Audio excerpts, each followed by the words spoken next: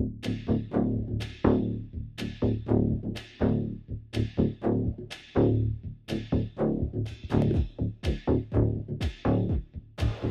Wouldn't be a visit to Germany without a stop at the HK booth, one of my favorite booths at Enforce Tac in IWA. Enforce Tac 2024 geared towards military law enforcement. We're here with HK. We're looking at the new MR308A6 I'm with my buddy Hans. Hans and I, we've interviewed for years. You guys know him from TFB TV. He's going to walk us through, very gently walk us through all of the features of the MR308A6. Hans, tell us all about it, please. So as you told, our new um, DMR rifle we show this year is the MR308A6. The unique thing is the side charger. So um, we're known for side charging rifles, but uh, not in this uh, type of uh, rifle. So we have made this specially for a military tender. There are some features in it um, because there was the specs from this uh, customer. So as I told, we have the side charger. We have a 20 uh, minutes of angle uh, top rail. So you don't need a scope mount, which is uh, with 20 more. Um, you can use, it depends on the scope, if it's uh, have enough way for adjustment.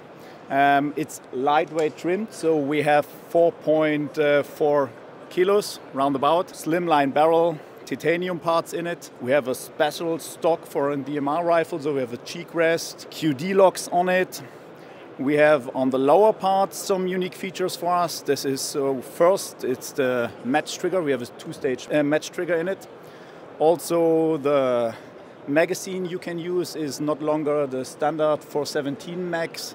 It's a DPMS Magpul standard. So something we should have done before, but in this version, it's available. Yeah, sure.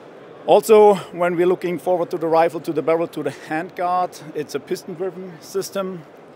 Um, we have a gas block you can adjust, um, silencer use, non-silencer use, and there's a third position you can switch off the gas port, and then it uh, doesn't operate with shooting. We have this for special ammunition when it's out of the range where, where the weapon can work and then you can use it like a bolt side action. charger bolt action yeah, rifle. Yeah, sure. Yeah.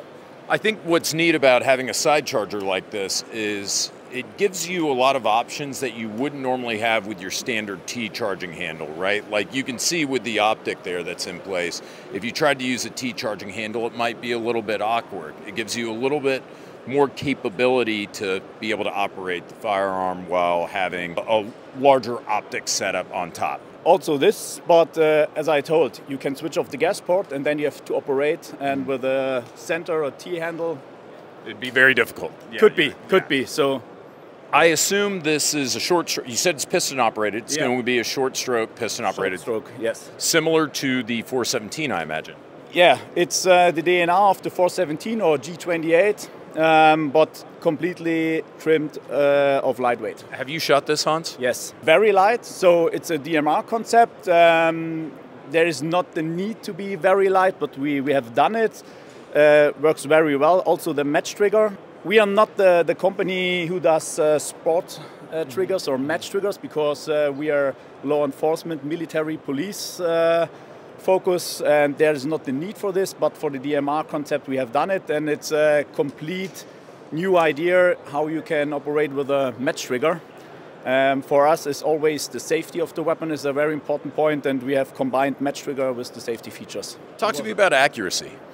Uh, it depends on the ammunition, which uh, silencer you can use. So, and we do industrial production, is not uh, manufactured, and in our information, we told about 2 MOA, mm-hmm. but I know you can do better with this rifle. Oh, sure. I can imagine you could do significantly better with this. As I told, depends on ammunition and so on, shooter skills.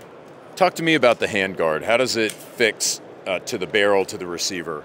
It's the same concept we have of all our rifles. We have uh, a very long barrel nut and it's fixed, it's QD lock. Mm-hmm. So we have some handguards with a screw um, on the newer weapons, also 416, um, we have a QD lever, the same concept we have uh, in 7.62 by 51.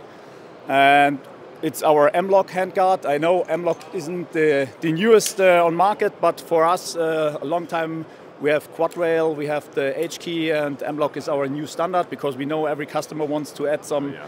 special parts on the rifle, and therefore we have the M-LOK handguard. So Hans, I want to say thank you as usual for walking me You're through welcome. this. Guys, thank you for watching our Enforce Tac coverage. Stay tuned. Make sure you subscribe to TFB TV Showtime. We'll be bringing you more.